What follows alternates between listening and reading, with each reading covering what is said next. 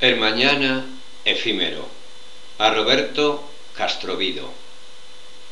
La España de charanga y pandereta, cerrado y sacristía, devota de Frascuelo y de María, de espíritu burlón y de alma quieta, ha de tener su mármol y su día, su infalible mañana y su poeta. El vano ayer engendrará un mañana vacío y por ventura pasajero. Será un joven lechuzo y tarambana, un sayón con hechuras de bolero, a la moda de Francia realista. Un poco al uso de París pagano y al estilo de España especialista en el vicio al alcance de la mano.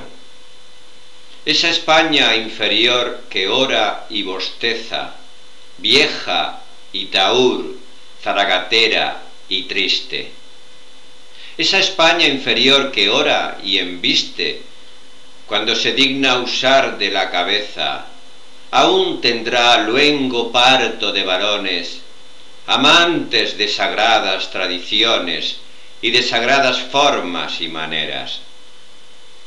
Florecerán las barbas apostólicas y otras calvas y otras calaveras brillarán venerables y católicas.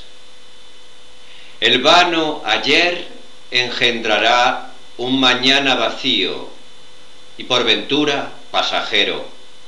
La sombra de un lechuzo tarambana, de un sayón con hechuras de bolero. El vacuo ayer dará un mañana güero. Como la náusea de un borracho ahito de vino malo, un rojo sol corona de heces turbias las cumbres de granito.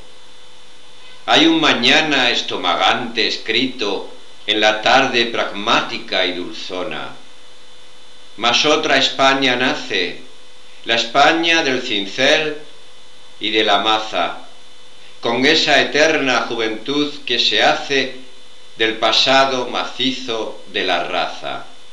Una España implacable y redentora, España que alborea con un hacha en la mano vengadora, España de la rabia y de la idea.